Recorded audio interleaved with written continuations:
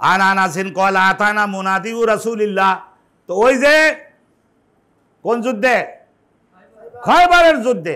এক মাস অবরোধ করে থাকার কারণে খাদ্যের ঘাটতি দেখাতেছে না। তো এখন মাল পরিবহনের জন্য হাজার হাজার গাধা নিয়ে গেছে না।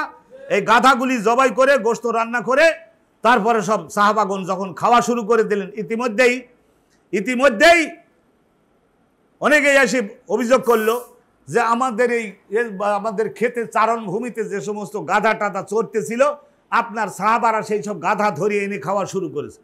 তো রসুল্লাহ বললেন, আমরা বিজয়ী হওয়ার আগ পর্যন্ত তাদের এই সমস্ত মাল খাওয়া জায়েজ নাই। আর বিশেষ করে আমাদের যে বাহন হিসাবে গাধা আনছিলাম, সেই গাধাগুলো সব যদি এইভাবে জবাই করিয়ে তোমরা খাইতেই থাকো, তাহলে আমাদের বাহনের ঘাটতি দেখা দেবে। আল্লাহ যতটুকু আমাকে জানিয়েছেন, বিজয় আমাদের হবে, একটু টাইম নিতেছে। একটু টাইম নিতেছে। তো এর গাধার জবাই করে গোস্ত কেটে কুটে রান্না করতে যে ডেগের মধ্যে তখন মশলা মেখে গেলে সুগন্ধি ছড়াচ্ছে।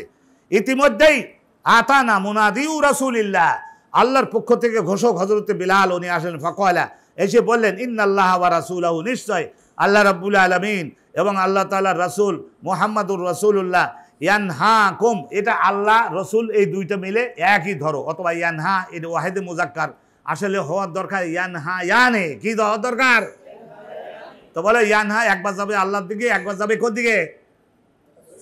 রাসুলের দিকে। ইয়ানহা কুম আনলুহুমে আনলুহুমে আল হমর। হমর ফাইন নাহা রেজ সোন নিশ্চয় এটা কি? না পাক রেজ শুন রেজ শুন বলো না কেন? সরল হায়েজে, তাহলে বোঝা গেল যে গাধার গোস্ত হারাম। গাধার গোস্ত কি? হারাম।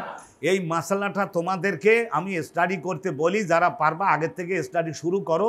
আল্লাহ আল মোয়াফেক লাকুম। গর্ধবের গোস্ত গর্ধব যদি এটা গৃহপালিত গর্ধব হয় মানবের মল খায়, তো আচ্ছা ঠিক আছে, এইটার কারণে এইটা না হয় এই ধরনের হলো। কিন্তু এটা যদি খামার তৈরি করে, খামার খামার তৈরি করে গাধা, খচ্চর ঘোড়া এই ঘোড়া সম্পর্কে ইমামে আজম আবু হানিবা রহমতুল্লাহ আলাই সারা জীবন বলতেন। কি বলতেন যে, ইন্নাল খায়ল আওয়াল বেগাল আওয়াল হামির আলে তার কাবু হাওয়া জিনা এগুলি গোস্ত খাওয়া যাবে না, কিন্তু, আ কবলা ওফাতিহি বে উসবো ওনার ওফাতের এক সপ্তাহ আগে উনি ওনার রাজা ইলা কৌলে সাহেবাইহে ওনার দুইজন সঙ্গী ছিলেন যে হজরতে আবু ইউসুফ এবং হজরতে মোহাম্মদ আবনুল হাসান।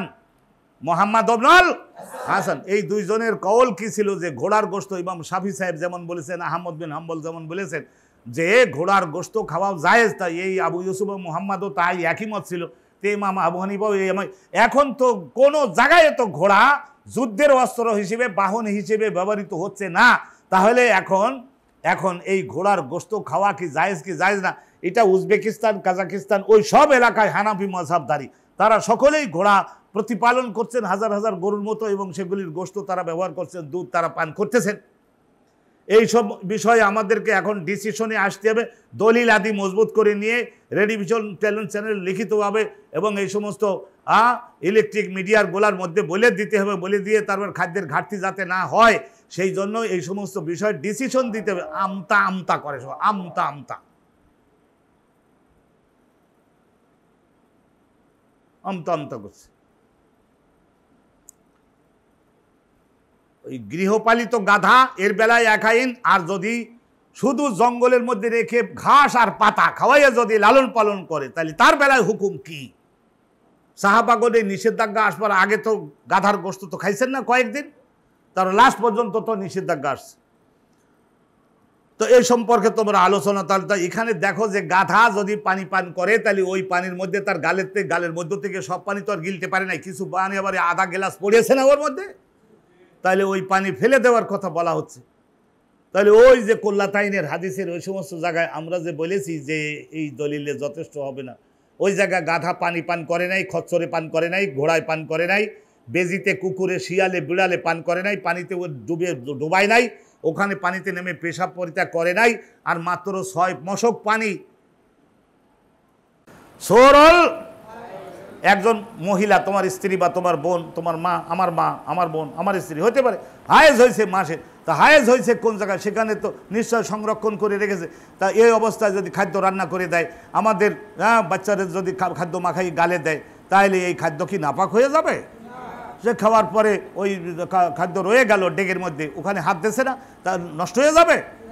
হায়েজ, একজন হায়েজ, এই হায়েজ, এটা বেটা লোকের যেহেতু হায়েজ হয় না, বেটা লোকের যেহেতু কি হয় না হায়েজ হয় না, সেই জন্যই আবার হায়েজের জন্য আবার স্ত্রীলিঙ্গে ফরক বানাবার জন্য তা দেওয়ার দরকার নাই। এখানে হায়েজ হ্যাঁ কাতে বোন ওজনের এই স্ত্রীলিঙ্গের অর্থ বোঝা। কয়, হুজুর, সারা জীবন তো জানি একটা গোলতা বাড়াইতে হবে তাকে হায়েজ আতন তাহলে বোঝা যায় যে আবার হায়েজ উনও বোধহয় আছে। বেটা লোকের এগুলি হয় নাকি? খরগোশ? খরগোশের ওই হায়েজ হয়।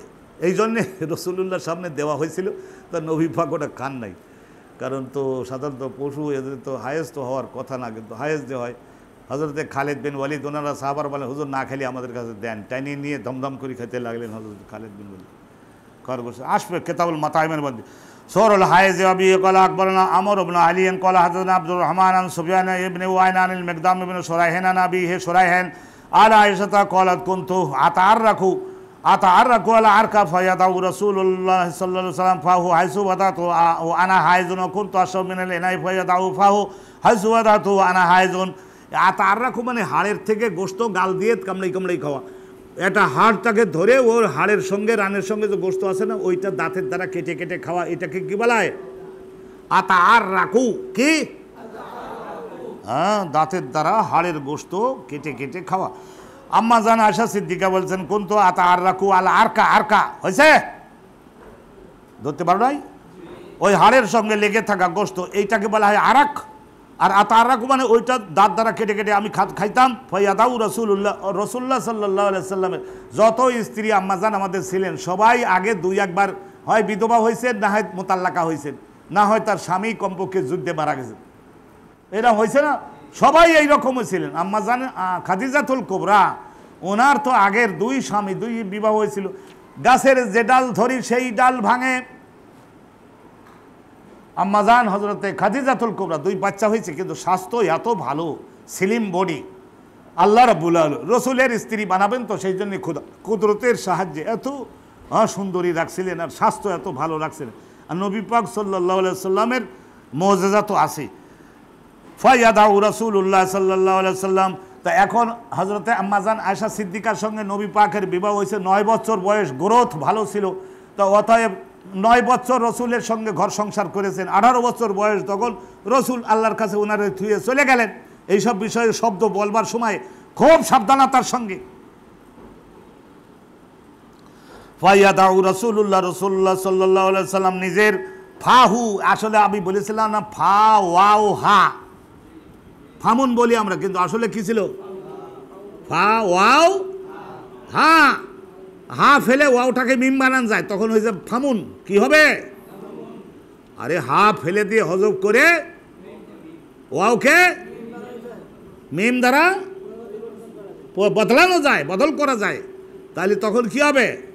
ফামুন আর যদি ওয়াওকে আলিফ বানাই, তাহলে ফা এরপরে হা তো আমার আগেরই আছে। তা ফাহু ফাহু মানে কি?